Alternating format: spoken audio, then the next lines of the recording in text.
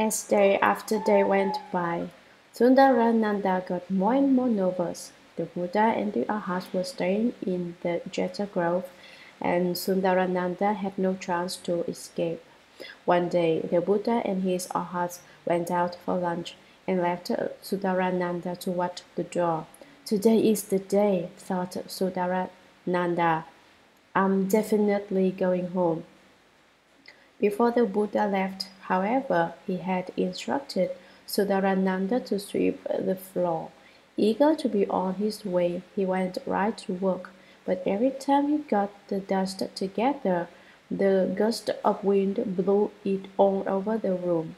He tried closing the window, but when he closed one, the other blew open. Strange.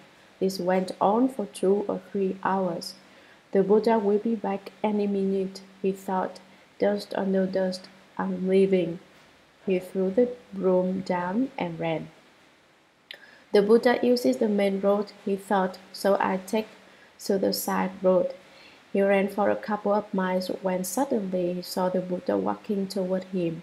He hid behind a tree to wait for him to pass, moving slowly around the back of the tree so that he would not be seen. Who would have guessed that the Buddha would follow him around the tree step by step? Sundarananda walked in one direction and the Buddha followed him.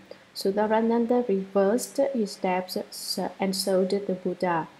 And collision was inevitable. There was no place to hide. What are you doing? asked the Buddha. I thought you were watching the door. I waited and waited, said the embarrassed Sundarananda, but you didn't return, so I came to welcome you. I thought that your bow might be too heavy. I, I came to help you carry, carry your bow. Wonderful, said the Buddha. What a good little brother. Now, let's go back to the Jeta Grove.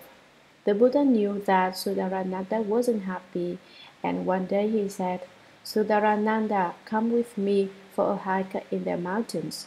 All right, said Sundarananda, thinking. If I get a chance, I'll surely run away. The mountains were full of monkeys, five or six hundred of them.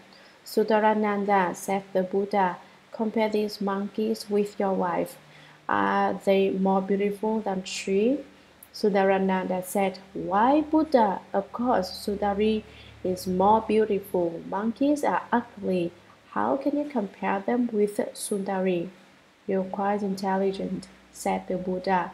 Do you know that your wife is prettier than the monkeys? When he, they had returned to the Jeta Grove, the Buddha said, Sundarananda, you have never been to the heavens. Want to go? First the mountains, now the heavens. I wonder what they are like.